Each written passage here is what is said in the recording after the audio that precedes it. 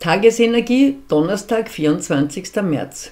Zum Zahnarzt gehen, falls nötig, wäre heute gut, es tut weniger weh als sonst.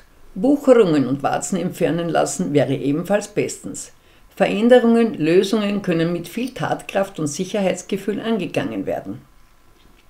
Sie fühlen sich erdverbunden und können gut eine erwünschte neue Basis schaffen und auch Verbesserungen erreichen.